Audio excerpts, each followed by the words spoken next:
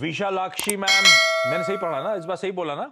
Yes yes Yeah. Sir अगला सवाल, ma'am. My name is bit typical बहुत नहीं, लोग नहीं, नहीं। नहीं कर पाते हैं। वो एकदम से इम्प्रॉम्प्टू नाम सामने आया तो मैं कंफ्यूज हो गया। एक बार ग्रिप में आ गया तो कोई टेंशन ही नहीं।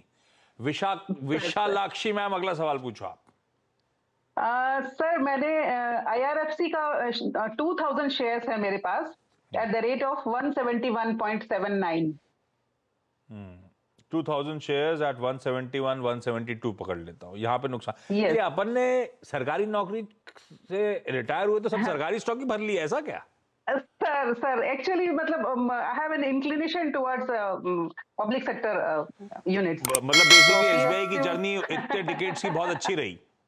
सर सर सर यस बहुत अच्छी रही। तो वह तो ये हाँ सर काफ़ी अच्छी थी। हाँ। एस बी आई तो स्पेशली बैंक्स में तो मतलब मास्टर है। ठीक इसलिए मेरा इंक्लिनेशन एक्चुअली पीएसयूज पे है तो मैंने वो ले लिया सर। और यही पॉकेट जी तो ऑफ़ लेट ठंडी पड़ गई। ये बात ये हाँ, हाँ, हाँ, अच्छा हाँ। मोमेंटम था। आईआरएफसी अमित जी अट्ठाईस रुपए का नुकसान। भाई ये सब वो मोमेंटम वाले हैं जहाँ रिटेल और लाजली मैम का सवाल है लेकिन हम रिटेल का यही दर्द है। हम सब इस सरकारी बैंक जो करेक्ट हुए सरकारी कंपनी जो करेक्ट हुई उसमें फंसे हुए हैं। अट्ठाईस रुपए नीचे चल रहा है आईआरएफसी क्या करूँ?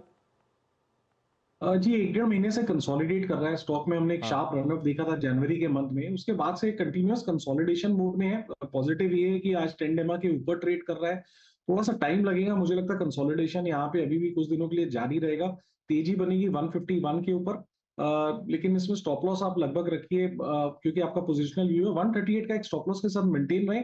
स्टॉक uh, अगर 151 के ऊपर क्लोजिंग बेसिस के पे जब भी निकलता तो शायद फिर एक मोमेंटम यहाँ पे बने। Till that time it is in consolidation move